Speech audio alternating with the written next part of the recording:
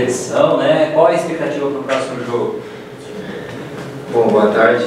É, acho que o time vem fazendo um bom trabalho na Série C.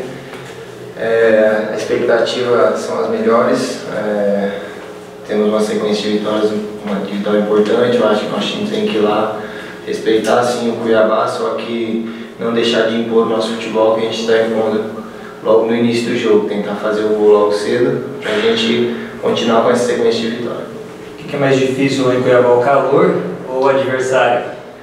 Cara, os dois. É...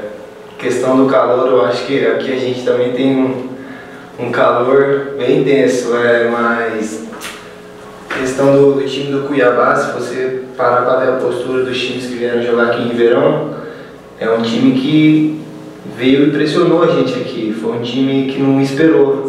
Eles vieram pressionar, então o que preocupa um pouco é a postura que eles vão ter lá, mas a gente está preparado para o jogo de lá, que vai ser um jogo bem difícil. A torcida já está ficando um pouco mal acostumada com, com o Botafogo. A fase é muito boa e a chance é real, se mantiver esse nível, de conseguir um acesso, né? Vocês veem também dessa forma, um jogo por vez? Como é que vocês analisam? Ah, é sempre um passo de cada vez, né? Mas é, é visível que, que, poxa, as coisas estão acontecendo, estão dando certo. Graças a Deus, é, nossa equipe vem somando os pontos, vem fazendo boas apresentações dentro e fora de casa. É, eu acho que a chance sim é grande, a gente primeiro tem que pensar na classificação. Sim, é, matematicamente, se você parar para pensar mais uma vitória, talvez já nos dá a classificação, mas eu acho que a gente tem que pensar também no possível, para um possível adversário, sabe? Para também a gente poder chegar no mata-mata e chegar confiante, chegar bem para conseguir o objetivo do clube e o objetivo de todos nós. Teve aquele problema envolvendo os atletas no Erechim, é, parte da torcida ficou um pouco desconfiada, com medo de repente o Botafogo ter uma queda de rendimento, mas o que se viu na verdade foi um Botafogo combativo e ele manteve esse rendimento, né? O que é que foi conversado nos, nos vestiários? O que é que o Botafogo, o que é que os jogadores, enfim, eles chegaram em que consenso aí para, enfim, para continuar jogando tão bem? Cara, é uma coisa que eu sempre destaco quando me perguntam, cara, o nosso elenco é muito forte, é, eu tenho certeza que eu passei por por alguns times, é, tanto na base quanto no profissional. Eu nunca vi um elenco de tamanha qualidade e tamanha honestidade de todos os atletas, o respeito que cada um tem por, por todos, por todos. É, pode descer, pode subir um menino para treinar da base, a gente vai respeitar ele da mesma forma. Isso que é, é uma coisa assim que eu fiquei encantado aqui com o Botafogo. É, me sinto acolhido desde quando eu cheguei. Eu acredito que o pessoal que chegou agora também sente essa mesma, essa mesma postura do nosso elenco, todo mundo, a gente se abraça, então acho que essa que é, vamos dizer assim, o segredo assim, do nosso time, é o respeito, é a honestidade no trabalho. Boa tarde, parabéns pela estreia. Acho que foi até melhor do que você sonhou, né, cara? Boa tarde. É, realmente né, a gente não, não costuma fazer gols, né? O pessoal da linha de trás, mas acho que eu fiz uma boa apresentação. Estou é, muito feliz pelo meu desempenho, pelo desempenho da equipe. Acho que eu pude mostrar um pouquinho do Daniel Vansan. Acho que ainda tem muito para evoluir. É, quero conquistar o, a confiança de todos, é, respeitando, claro, o Peri que vem fazendo um grande campeonato. É, tenho que respeitar esse momento dele. E fiquei muito feliz pela minha estreia e vou estar sempre à disposição. Você sabe que você é o responsável por criar um problema com o treinador agora, né, cara? É um problema bom, né? É, problema bom, é, mas eu estou muito contente, estou muito feliz mesmo.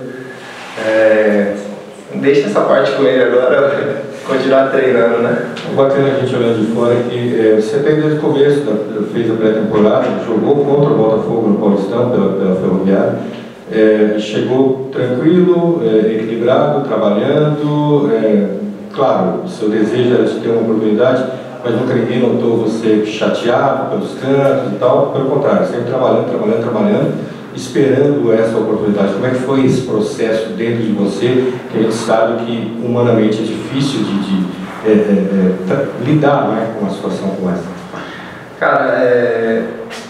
questão de eu chegar, assim, eu cheguei no Paulistão, posso considerar que foi um bom Paulistão que eu fiz é, pela Ferroviária individualmente, acho que o time lá também conseguiu os objetivos, mas eu sempre fui assim, cara, às vezes eu até brinco com o pessoal aqui da fisiologia, preparação física, eu não consigo me dosar muito nos treinos, eu acho que às vezes pode ser até um defeito, é, mas eu, você nunca vai ver eu chateado porque eu não estou jogando, você, vocês, o pessoal da imprensa, o pessoal do clube nunca vai ver, eu vou estar sempre tentando buscar meu lugar no clube, é, sendo na lateral, sendo de volante, de ponta, onde o Léo quiser me utilizar, ele sabe que ele pode me utilizar desde o início, ele ele já me perguntou se eu poderia ó, talvez fazer a linha da frente. Eu falei, por que não? Eu falei, vim para ajudar, vim para somar.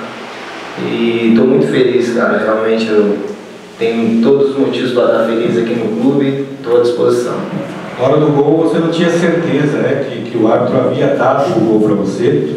A gente atrás do gol lá viu que houve um, um resvalão, né, mas é, o resvalo não desviou a trajetória da bola. Ela, ela continuou na mesma curva que ela estava fazendo e entrou. Nada mais justo que o árbitro ter acreditado o gol para você. Mas você comemorou ali como se fosse seu mesmo ou, ou mais na, na, empolgação no momento? Então, eu, eu, comemorei, na verdade, claro, óbvio, pelo gol, para a gente estar tá, aberto ali os 2 a 0 logo no início, né? Do segundo tempo, ter feito o segundo gol foi muito importante ao decorrer da partida. É, a gente treina bastante essa bola no primeiro pau, o Léo tinha me pedido para fazer essa bola rápida é, na hora que saiu o gol, eu comemorei como se fosse meu, só que depois do jogo eu fiquei com aquela consciência assim, eu falei, ah, vou perguntar pro árbitro se realmente ele deu o gol pra mim ou não, porque se ele deu o gol pra mim foi meu primeiro gol como profissional, então eu cheguei nele, ele falou assim, não, o gol é seu, como você disse, a trajetória da bola não mudou, parabéns, ele falou, falei, muito obrigado.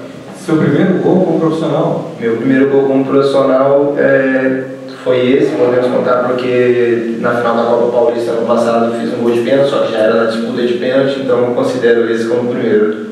Os objetivos daqui para frente, para finalizar da minha parte?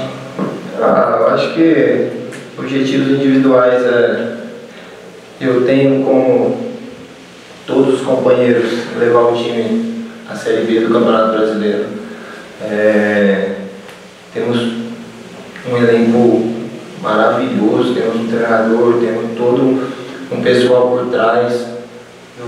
Então acho que tipo assim, a gente continuar trabalhando dessa forma, com a mesma concentração, com a mesma dedicação que tem, tem sido feito o trabalho, eu acho que não tem um porquê a gente não atingir esse objetivo, mas é, é claro, sempre com o pé no chão, para também a gente não ter surpresas, né?